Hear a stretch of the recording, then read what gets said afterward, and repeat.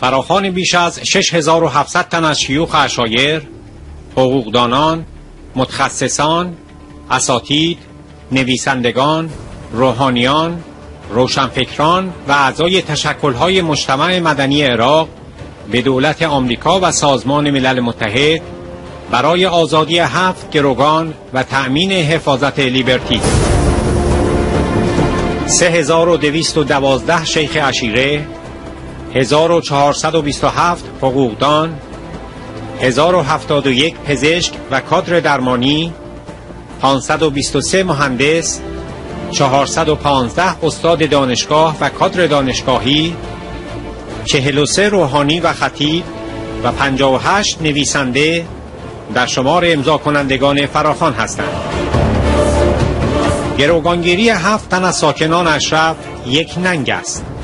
ما از دولت آمریکا که در قبال حفاظت ساکنان مسئولیت دارد می‌خواهیم مالکی را وادار سازد گروگانها را آزاد کند و حفاظت و امنیت لیبرتی را تضمین کند.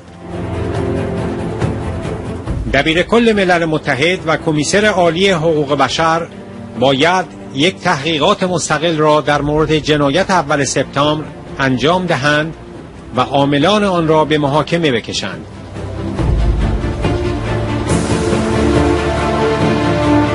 بیش از دو ماه از جنایت بی سابقه نیروهای وابسته به مالکی در مورد ساکنان اشرف و اعدام جمعی 52 نفر از آنان و گروگانگیری هفت تن شامل شش زن و یک مرد میگذرد. به رغم انزجار جهانی نسبت به این کشتار وحشیانه مالکی همچنان در تلاش است تا از خود سر به مسئولیت کند. در یک کمپین گسترده توسط انجمن حقوقدانان عراق 6756 تن از شیوخ اشایر، حقوقدانان، متخصصان، دانشگاهیان و روشنفکران عراقی با امضای بیانیه اعلام کردند. از نظر ما امضا کنندگان این بیانیه نوری مالکی در مورد قتل عام در اشرف و گروگان گرفتن ساکنان و در مورد دموکراسی در عراق به دولت آمریکا دروغ می‌گوید و اکنون این دروغ بر همگان آشکار شده است.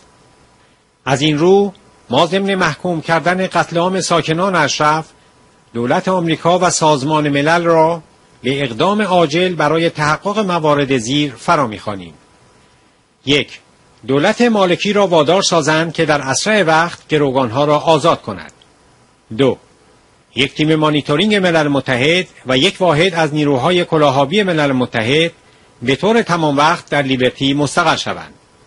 سه دبیر کل ملل متحد و کمیسر عالی حقوق بشر یک تحقیقات مستقل در مورد جنایت اول سپتامبر در اشرف انجام دهند و عاملان آن را در مقابل عدالت قرار دهند.